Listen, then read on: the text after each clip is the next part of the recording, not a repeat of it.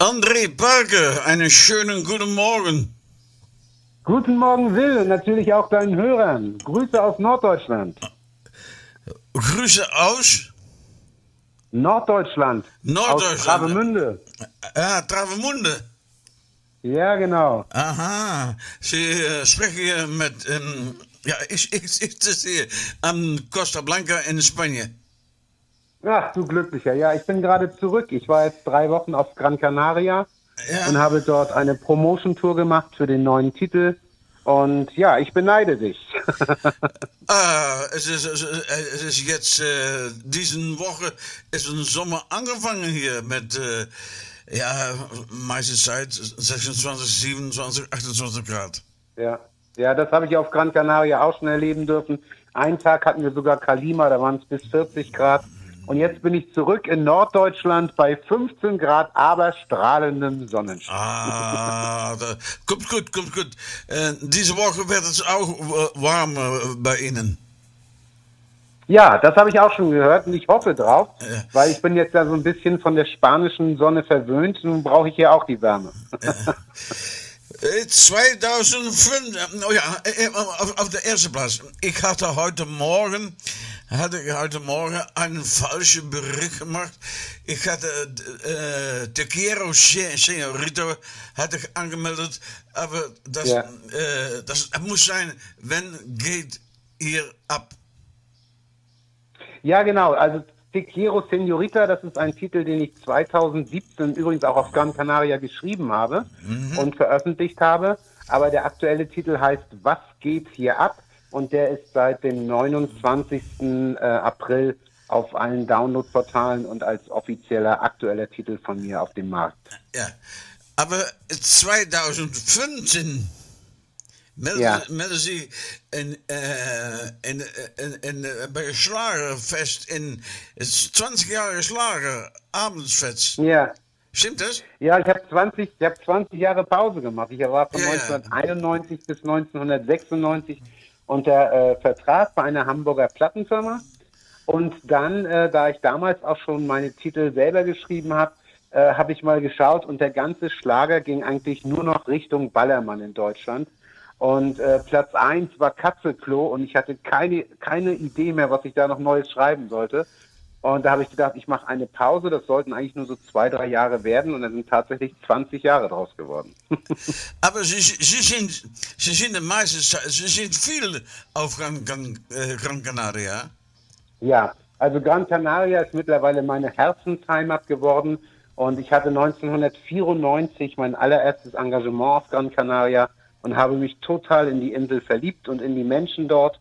Und als ich dann 2015 wieder anfing, mit dem deutschen Schlager äh, zu schreiben und zu veröffentlichen, habe ich 2016 der Insel Gran Canaria eine Hommage geschrieben mit dem Titel Gran Canaria Te Quiero und äh, habe eigentlich in dem Lied beschrieben, wie ich die Insel kennengelernt habe und äh, dass ich mich eben halt in diese Insel verliebt habe. Habe dazu auch ein Musikvideo gedreht, was von einem niederländischen Kollegen von der Produktionsfirma Luis Saraga gesehen wurde, der für Lateinamerika äh, äh, so Fernseh-Unterhaltung äh, ja, produziert.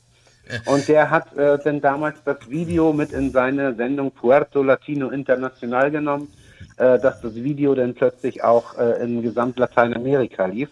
Ja. Und daraufhin bin ich 2018 vom Bürgermeister äh, dort äh, auf Gran Canaria ausgezeichnet worden und habe als erster deutscher Schlagerinterpret äh, ein Gemälde von Pepe Damaso erhalten als Dankeschön für die ja, positive Außenwerbung der Sonneninsel Gran Canaria. ja, das war in 2018, ne? Da hatten Sie Das war mit- 2018. Ja, mit der Baila Conmigo. Mit Baila Conmigo war ich da gerade auf Promotion-Tour Ja. und der Bürgermeister hat da von einem deutschen Schlagersänger gehört, der Werbung in Lateinamerika für Gran Canaria macht und hat er gesagt, den will ich kennenlernen. Ja. So kam das. Äh, Aber 2020 haben Sie geschrieben, De Quiero Señori- Señorita. Tequila Senorita war 2020, 20. ja genau, mit dem, mit dem Jörg Lamster zusammen im neuen Studio. Ich hatte so einen, so, einen- so einen Soundwechsel gemacht und das ist dann beim Jörg Lamster in, in Deutschland im Studio äh, äh, produziert worden, wo auch schon Gigi Anderson und die Wildecker Herzbuben und viele andere Kollegen von mir ihre äh, äh, Tonträger produziert haben. Ja, das ist richtig. Ja, und jetzt im, im September, äh, letztes Jahr, haben Sie noch einen schönen, nee, ich, ja. ich hau ab. Ich hau ab. Ja, wir, wir waren ja alle eingesperrt durch die, durch die Pandemie. Und ich habe immer so gedacht, so wie das hier wieder alles einen normalen Weg geht und ich wieder zurück kann nach Gran Canaria, dann hau ich hier ab. Und das war der Titel in die Zeile, ich hau ab. Und das habe ich dann auch sofort gemacht, als es ging, bin ich dann nach Gran Canaria rübergeflogen und habe den Titel dort äh, präsentiert, der dort auch wieder sehr gut ankam und das ist da auch schon bei vielen so zum geflügelten Wort dann geworden. Ich hau ab. ja. Und dann gehen wir nach äh, letztes November, am letztes Jahr 2021 und dann ja. präsentiert sie liebe gute Weihnachtsmann in Disco Fox. Ja. Genau, also ich habe mir überlegt, äh, ich war, hatte 2015 ja begonnen wieder mit dem Schlager, da habe ich den Titel geschrieben, Bald ist Weihnachten. Und äh, ja, da ist es so gewesen, äh, wer mich kennt, also wer meine Lieder hört, weiß auch ungefähr, wie ich bin. Äh, und äh, da war es, war es ein Titel, der hatte weniger mit der festlichen Weihnacht zu tun, sondern ich habe eine Statistik gelesen, dass sich zu keiner Zeit so viele Menschen trennen wie zu Weihnachten. Und darüber handelt dieser Titel. Da sitzt also jemand zu Hause und schiebt den Christmas Blues, weil seine Frau weg ist. Ja. Äh, und da habe ich viel, viel Protest gekriegt von Radioredakteuren, die gesagt haben, sowas kannst du nicht machen. Weihnachtstitel müssen immer ein gutes Ende haben. Ja. Und jetzt habe ich fünf Jahre später einen Titel rausgebracht, der heißt Lieber guter Weihnachtsmann und der hat ein super schönes Ende. Wie, äh, wie lange, wie lange, wie lange sind Sie angefangen mit Singen? 1991 habe ich den ersten äh, Plattenvertrag bekommen bei der Hamburger Plattenfirma und bin seitdem also in der Branche tätig. In der Zeit, wo ich die Pause hatte, in den 20 Jahren, habe ich mal die Seiten gewechselt. Ich habe hier eine Veranstaltungsagentur in Norddeutschland gehabt, habe unter anderem mit dem ZDF zusammengearbeitet für die äh, Besetzung von Dalli Dalli, das Remake damals mit Andreas Türk. Da habe ich meine ganzen Kollegen rein, rein besetzt, wie Ted Herold und Mary Rose und äh, Francesco Napoli, Tina äh, Rainford und da waren also sehr viele Kollegen, die ich dort in diese Sendung besetzt habe und habe mich danach mehr äh, für die Veranstaltungen in Hotels äh, äh, orientiert, in die Richtung gehend, dass ich dort äh, Galas gemacht habe und Bälle. Aber ich muss sagen, wer einmal auf der Bühne gestanden hat, irgendwann kribbelt es wieder in den Füßen und man möchte zurück auf die Bühne. Und da bin ich jetzt seit 2015 wieder und äh, bin ausschließlich als Interpret unterwegs. Ja. Aber Sie sind, Sie, Sie, Sie sind Deutscher, Sie sind geboren in, in, in, Deutschland oder nicht? Ja, ich bin, ich bin in Deutschland geboren, in Lübeck, in der Hansestadt Lübeck bin ich geboren. Ja. Äh, meine Mutter äh, kam aus Deutschland, mein Vater war Tunesier.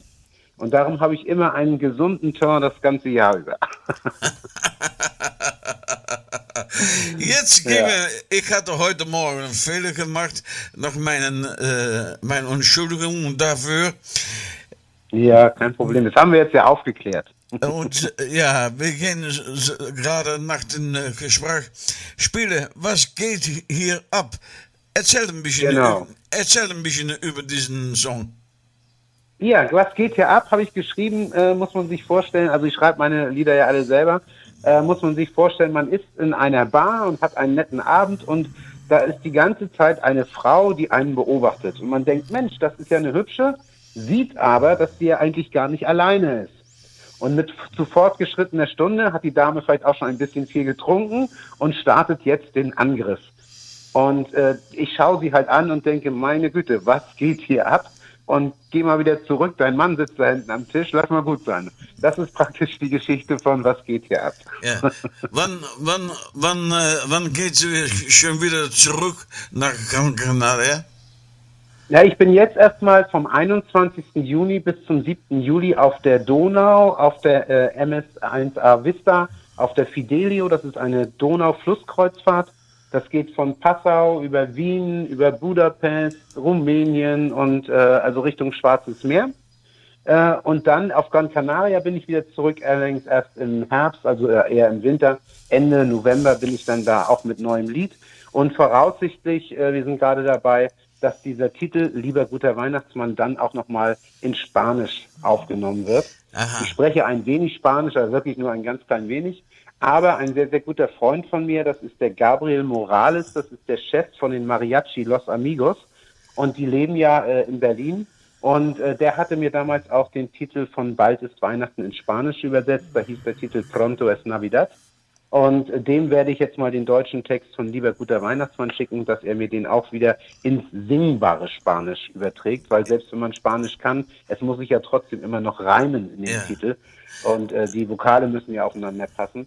Und da wird Gabriel Morales dann wieder sicherlich ein gutes Händchen beweisen und mir den lieben guten Weihnachtsmann auf Spanisch übersetzen. Aber meiste Zeit, wenn er in Deutschland Winter ist, sind Sie in Gran Canaria. Also ich bin eigentlich, äh, meine Herzensheimat ist Gran Canaria. Ich bin aber überwiegend doch noch in Deutschland. Aber ich bin so zwei, dreimal im Jahr oder eben halt, wenn separate Buchungen reinkommen, fliege ich auch so mal rüber für ein paar Tage. Aber ansonsten bin ich grundsätzlich immer so zwei, dreimal im Jahr da, auch immer zur neuen Veröffentlichung. Das hängt auch damit zusammen, ich erreiche dort sehr, sehr viele Leute in guter Stimmung, die sind in Urlaubslaune. Und es gibt da so einige Locations auf Gran Canaria, das nennt sich Café Mozart. Das ist eine Outdoor-Location und da gibt es jeden Sonntag den Frühschoppen. Und da sind so bis zu 500 Leute vor der Bühne, die einfach den Schlager feiern, den Schlager mögen und auch ganz gezielt dahin kommen. Und das ist natürlich dann auch eine super, ein super Marketing für die neue Produktion. André, äh, wir müssen ein bisschen mit den Zeit. Ich habe äh, elf Oh, Uhr, das äh, geht aber schnell. Nein, nein, nein, nein, nein, nein, nein, nein, nein, äh, geht nichts. Aber ähm, wenn die Zuhörer mehr Informationen wünschen, wo kann man das finden? Ja, also entweder man gibt ein ins Internet www.andre-parker.de Oder auf Facebook findet man mich natürlich auch. Einfach nur André Parker eingeben. Oder äh, ich habe auch einen, einen Freundeskreis auf äh, Facebook. Das ist dann Fans und Freunde von André Parker. Und äh, da wird man auch immer mit den aktuellen Informationen versorgt. Äh, gerade in der Gruppe immer als erstes. Da habe ich auch schon eine tolle Gemeinschaft zusammen. Da wird dann auch darauf hingewiesen, wann ich in irgendwelchen Hitparaden bin oder wo man voten kann, wo man sich wünschen kann und wo ich als nächstes auch dann wieder äh, in, in Persona auftauche. Also das äh, wird ganz toll gemacht. Da habe ich eine, ein, ja, ein Mitglied dabei, das ist die Cornelia de Mark und die äh, ja, die äh, überwacht das Ganze und sorgt dafür, dass da immer die aktuellen Informationen kommen. Mein Büro und ich natürlich auch. Ja. Aber äh, wenn ich unterwegs bin, macht das die Cornelia de Mark ganz klasse und freut sich für jeden, der da neu mit zustößt Gruppe. Auf, auf den ersten Platz. Auf den ersten Platz. Auf viele, viele, viele Das wäre Dank. natürlich schön. Äh, Viele, viele, vielen Dank, dass du heute Morgen live bei uns im Programm war. Vielen Dank dafür. Sehr gerne. Ich wünsche alle Gutes und wenn es eine neue Song kommt, schicken sie mir. Schick sie mir. Den werde ich dir sehr, sehr gerne schicken. Ich habe ganz herzlich zu danken, lieber Will, auch deinen Hörern. Einen schönen Tag. Vor allen Dingen bleibt gesund oder werdet es wieder. Und natürlich muss ich jetzt auch noch ganz liebe Grüße nach Gran Canaria senden, weil ich weiß, dass dort auch zugehört wird. Und äh, ja, ich vermisse euch alle und ich hoffe, wir sehen uns alle bald gesund und munter live wieder. Und dir danke ich ganz Aber- herzlich, aber- für das tolle Interview. Aber die Ankündigung von die letzte Song, was geht hier ab, das machen sie. Ja? Das machen sie. Ja, und liebe Hörer, wenn ihr jetzt gehört, uns zugehört habt, habt ihr bestimmt gedacht, Mann, was redet der Typ so lange? Was geht hier ab? Und damit wünsche ich euch jetzt viel Spaß mit meinem aktuellen Titel Was geht hier ab? Und Ein- vielen Dank. Alles Gute. Noch einen schönen Montag. Bis zum nächsten Mal. Tschüss. Das wünsche ich auch einen tollen Start in die Woche. Tschüss. Tschüss. Tschüss.